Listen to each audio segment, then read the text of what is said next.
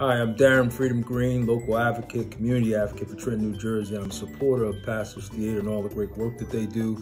Uh, last year, they did an event with uh, focusing on Trenton Central High School students. So again, Passage has always been a unique place and space where we had a uh, local investment in not only our young people, but our community members. It's been a place where we often drive by and don't take time to stop in. I'm asking each and every one of you who's watching this video to invest in Passage, to support Passage, to be a part of Passage moving forward forward, moving greater, moving moving Trenton in a better place because they invest in us and we need to invest in them. Support Passage from an economic perspective and make their dreams and our dreams come true.